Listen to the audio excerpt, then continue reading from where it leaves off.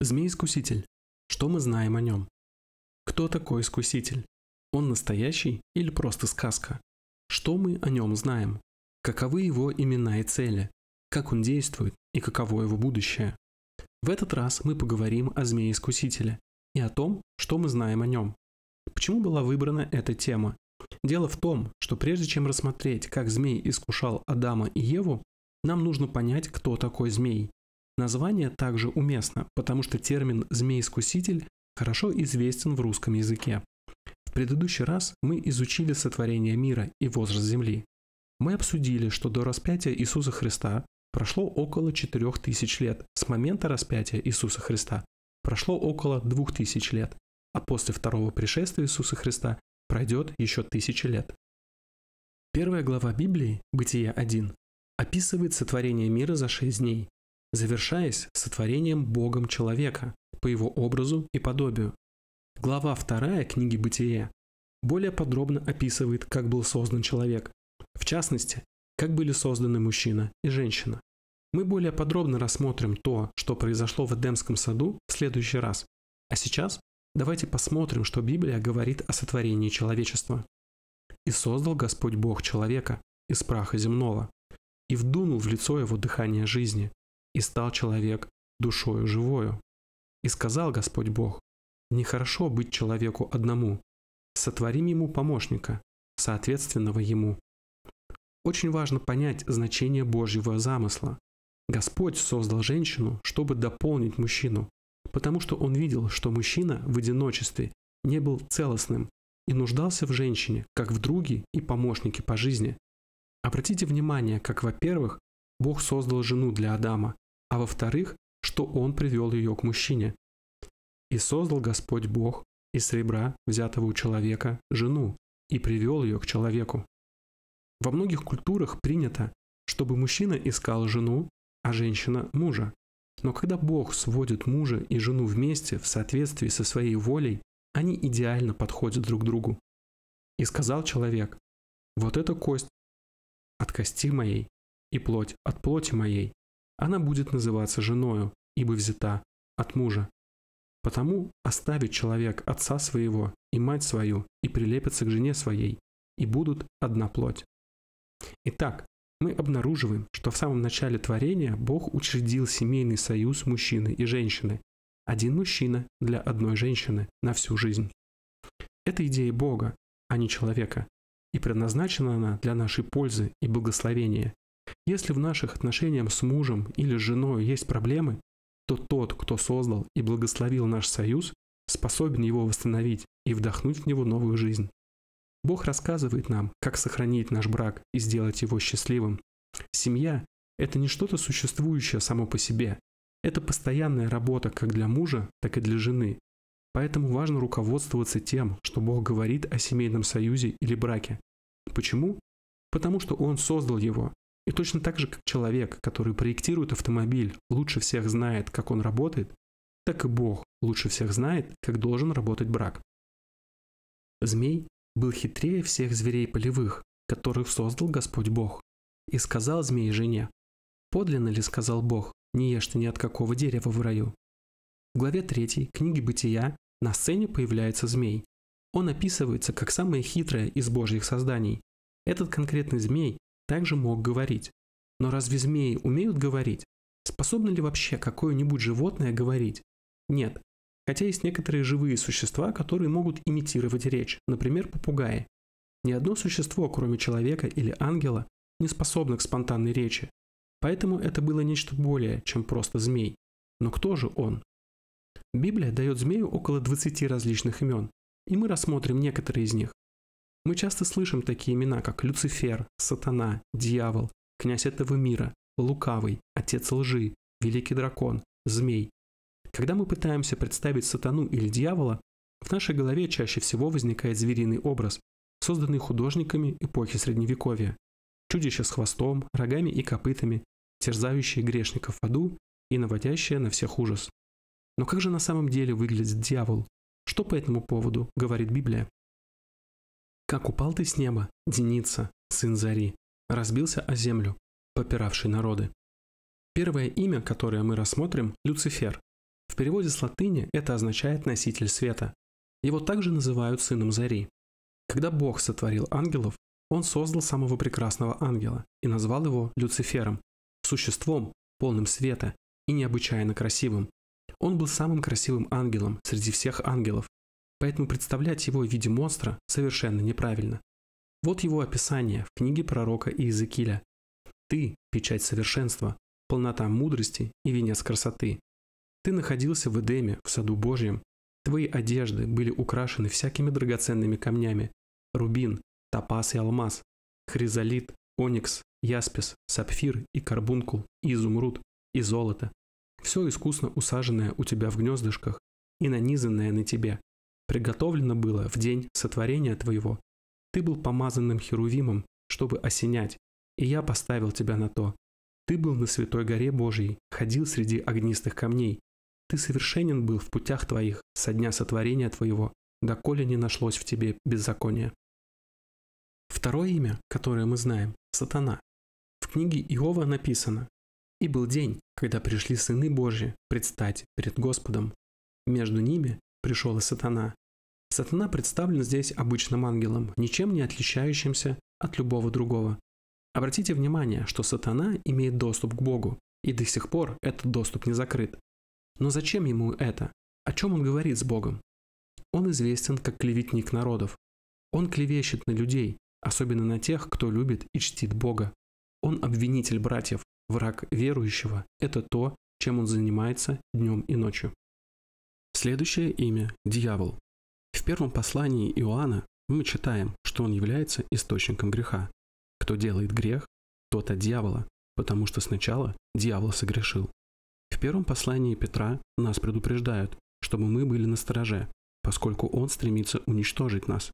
Трезвитесь, бодрствуйте, потому что противник ваш, дьявол, ходит как рыкающий лев, ища кого поглотить. Следующее имя – князь этого мира или князь, господствующий в воздухе. Когда Господь Бог сотворил человека, Он дал ему власть над землей. Но когда человек согрешил, тот, за кем он последовал, получил власть на земле. Итак, дьявол или змей или сатана стал князем этого мира. Так написано в Библии. Уже немного мне говорить с вами, ибо идет князь мира сего, и во мне не имеет ничего. В которых вы некогда жили, по обычаю мира сего, по воле князя, господствующего в воздухе, духа, действующего ныне, в сынах противления. Следующее имя – Отец лжи. Вот как Господь Иисус Христос описал его. «Ваш отец – дьявол, и вы хотите исполнять похоти отца вашего. Он был человекоубийца, от начала и не устоял в истине, ибо нет в нем истины. Когда говорит он ложь, говорит свое, ибо он лжец и отец лжи.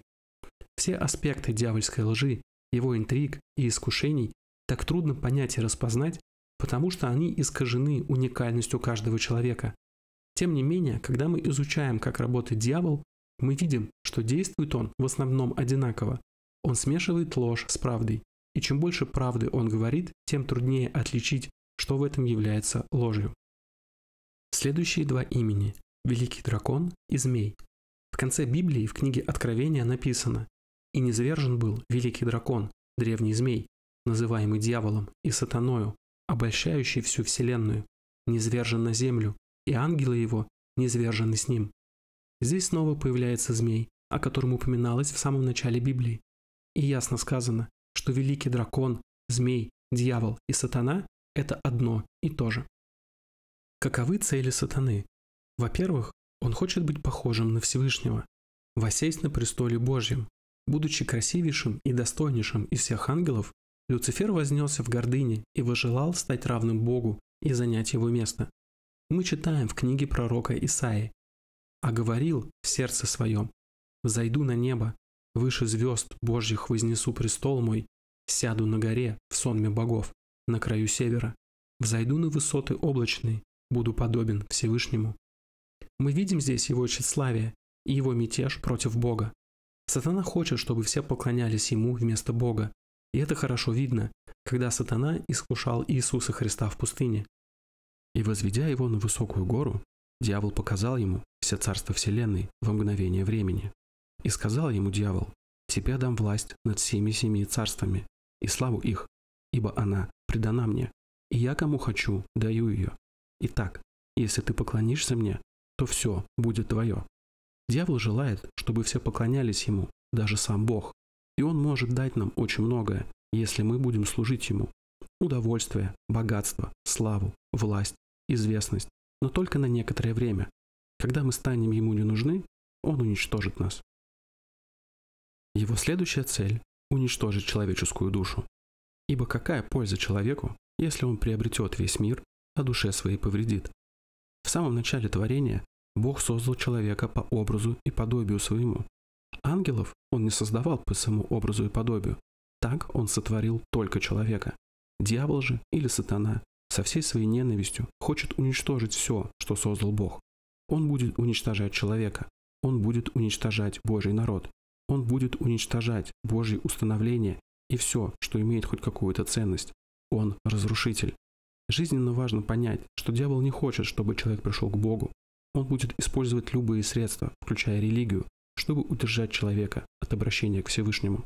Для неверующих, у которых Бог века сего ослепил умы, чтобы для них не высиял свет благовествования о славе Христа, который есть образ Бога невидимого. Если он потерпит неудачу в этом, и человек все-таки придет к Богу, он сделает все, что в его силах, чтобы завладеть его сердцем и увести от служения Господу. Сатана хочет внушить человеку ложное представление о своей власти, либо о том, что у него есть вся власть, либо о том, что он не обладает вообще никакой властью. Надо понимать, что хотя он и не так силен, как можно было бы подумать, тем не менее он очень могущественный ангел, и недооценивать его было бы большой ошибкой.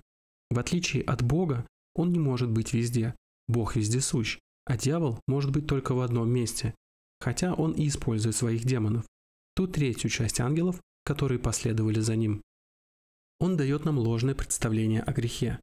Он сводит к минимуму реальные масштабы греха, делая его незначительным, чтобы мы подались еще большему греху. Это просто плод. Что может быть плохого в том, чтобы съесть кусочек этого плода? Ты наверняка не умрешь. Что плохого в том, чтобы рассказать ребенку про Деда Мороза? Это просто маленькая невинная ложь. Это всего лишь развлечение.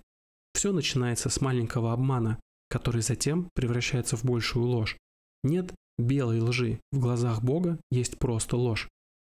Он убеждает людей в том, что Бога нет, что нет духовного мира, что самого сатаны не существует, что Библия – это сказка, а ад – выдуманное место. Дьявол в этом мастер. Если мы отвергаем существование Бога, то примем любую ложь. Миллиарды лет эволюции, происхождение от обезьян, от лужи бактерий или радиоактивной пыли. Если сатана убедит нас в том, что Бога нет, мы можем решить, что знаем, как и ради чего нам жить, что является правильным и истинным, как следует поступать. Если мы поверим, что не существует никакого высшего замысла, идеала и царствия небесного, то и стремиться к этим вещам нам будет просто незачем. Одна ложь ведет к другой, но Библия говорит, сказал безумец в сердце своем, нет Бога. Они развратились, совершили гнусные дела, нет делающего добро. Если мы не верим, что существует загробная жизнь, то в принципе все, что у нас есть, это 50-80 лет жизни на этой земле. Если мы поверим лжи дьявола о том, что его не существует, то он сможет убедить нас в том, что никакие силы зла не влияют на нас, что мы должны принимать друг друга и самих себя такими, какие мы есть, что нет необходимости бороться с преступными явлениями в нашем обществе, и вместо того, чтобы противостоять злу, мы должны постепенно расширять права человека, включая в них все виды пороков, грехов и разврата, которые мы видим вокруг себя. Например, однополые браки. Бог изначально создал мужчину и женщину. Он не создавал мужчину и мужчину, или женщину и женщину. Но люди пытаются доказать, что это нормально. Это ненормально для Бога, и это ненормально с самого начала. Бог называет это неестественным. Потому предал их Бог постыдным страстям. Женщины их заменили естественное употребление противоестественным. Подобно и мужчины, оставив естественное употребление женского пола, разжигались похотью друг на друга, мужчины на мужчинах делая срам и получая в самих себе должное возмездие за свое заблуждение. Римлянам 1, 26, 27. Одно из самых распространенных орудий дьявола – страх. И этот страх всегда основан на лжи. Страх и ложь – главные инструменты, с помощью которых дьявол манипулирует нашим сознанием. Если человек знает правду, он не будет бояться, потому что правда освобождает, а ложь порабощает. Противостоящий Богу, непокорный, упрямый дьявол всегда лжет и мучает. Почему? Потому что он отец лжи, если бы не манипуляции, запугивание и ложь, его царство давно бы распалось. Таковы методы, используемые сатаной. Превратился ли дьявол из прекрасного ангела в дьявола после того, как согрешил? Нет, он все тот же прекрасный ангел. И неудивительно, потому что сам сатана принимает вид ангела света.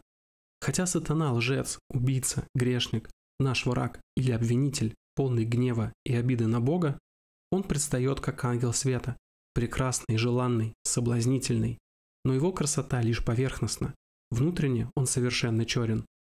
А дьявол, прельщавший их, вержен в озеро огненное и серое, где зверь и лжепророк, и будут мучиться день и ночь во веки веков. Если мы знаем, кем является сатана на самом деле и как он манипулирует нами, если мы знаем правду, а правда написана в Библии, то это знание делает нас свободными, Библия говорит, что Бог создал нас не для того, чтобы мы боялись. Он создал нас для того, чтобы мы служили Ему. Поэтому нужно серьезно отнестись к тому, кто такой сатана, к тому, что он, как яд, действительно существует, что Бог реален, а Библия истинна. Это не сказка, это реальность.